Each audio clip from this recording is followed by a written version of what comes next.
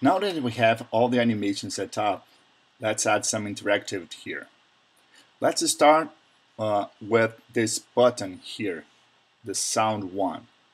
What it does is mute and un unmute as we have a background audio.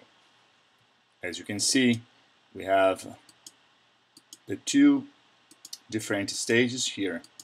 So let's pick audio play and click add button. Let's name it. And tell us uh, that this is a mute unmute type. As you can see click nose around the unmute button. And all we have to do is to pick the mute one.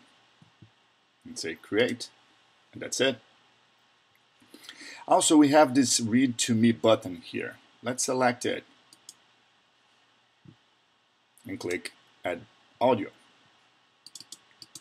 Let's name it.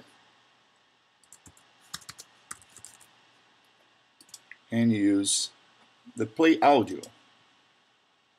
Again, the rollover is going to be but read roll. And let's select the audio. Africa. Create. Let's also click in the cloud.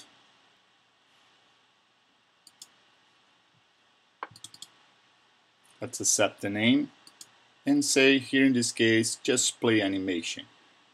Cloud does not have a rollover but as you can see here we have a few animations the ones that we decide to put wait for request.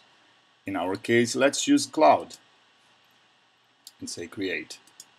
Lastly let's pick this drum here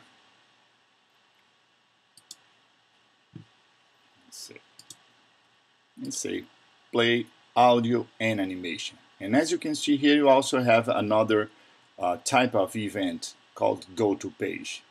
Although you can flip between pages, sometimes uh, with your finger, sometimes you may need to create a specific button to move to another page or let's say for the index of your book.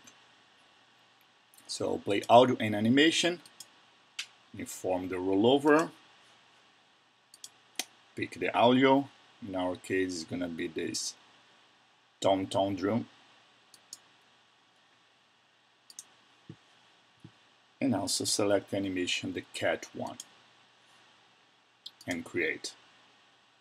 Now we are ready to preview our project